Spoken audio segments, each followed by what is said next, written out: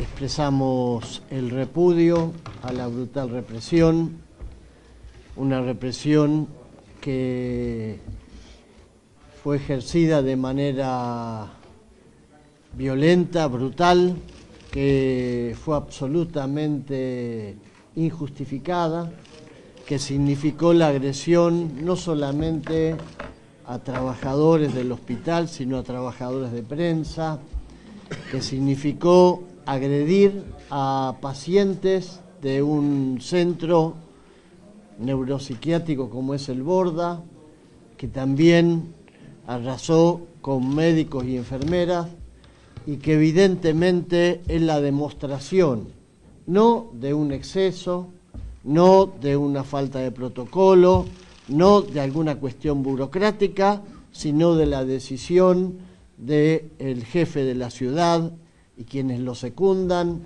este energúmeno llamado Montenegro, de arrasar con los derechos de la ciudadanía de esta ciudad. Es una barbaridad, es un acto criminal. Macri es un criminal. A Macri hay que pedirle el juicio político, igual que se lo pidió la legislatura Montenegro, a Chaín. Por eso los jueces le han impuesto una multa de 20 mil pesos a Chaín, a Macri y a Contegrán, que también estaba ahí presente. Entonces nosotros repudiamos, repudiamos y vamos a exigir que se reconstruya el taller protegido. Nosotros luchamos por la ampliación de derechos, o sea, queremos que haya cada vez más talleres y no menos. Ellos lo que han hecho es destruir un taller que se podía utilizar para que los pacientes se rehabilitaran. Nosotros planteamos, si hicieron un taller nuevo, que lo pongan en funcionamiento, pero eso no suplanta el dispositivo del taller 19. Tal es así que hicimos una medición de ruidos en el taller nuevo y como lo han construido rápidamente para tratar de, de demoler el otro, lo que han hecho es no tener en cuenta cómo trabajan los pacientes ni las necesidades que tiene el dispositivo de rehabilitación. O sea, en el taller nuevo si uno prende las máquinas no puede estar adentro porque el ruido que, hay en ese taller supera los límites eh, tolerables y los límites de salud. La solidaridad tampoco se declama, se ejerce. Y por eso solidariamente vamos a acompañar a los compañeros del Borda los maestros, los trabajadores del subte, la CTA, en defensa de las políticas públicas, en contra del autoritarismo, en contra de la violencia social, a favor de la paz, de la democracia y del Estado de Derecho en la ciudad de Buenos Aires.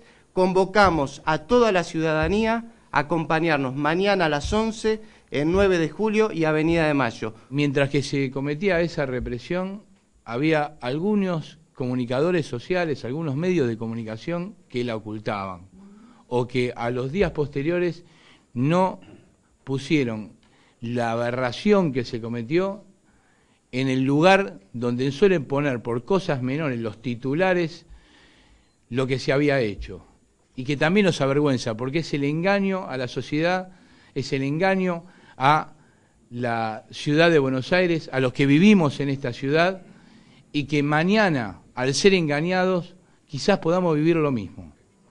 Son cómplices de lo que sucede, si no se informa debidamente lo que sucedió. Realmente nos avergüenza.